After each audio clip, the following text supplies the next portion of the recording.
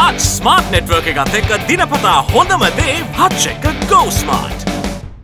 ඉන්දියාව කලාපිය බලය තහවුරු කර ගැනීමේ ක්‍රියාවලිය සම්බන්ධෙන් අවධාන යොමුවන තවත් පුවතක් අද ජාත්‍යන්තර මාධ්‍ය වාර්තා කළා. ඉන්දියාව සහ මාලදිවයින ඩොල මිලියන පණහක ආරක්ෂක ගිවිසුමකට එළඹ තිබෙනවා. ඊට අත්සන් තබා ඇත්තේ ඉන්දිය විදේශ අමාත්‍ය ආචාර්ය එස් ජයශංකර සහ මාලදිවින් ආරක්ෂක අමාත්‍ය මාරියා ඩේඩී.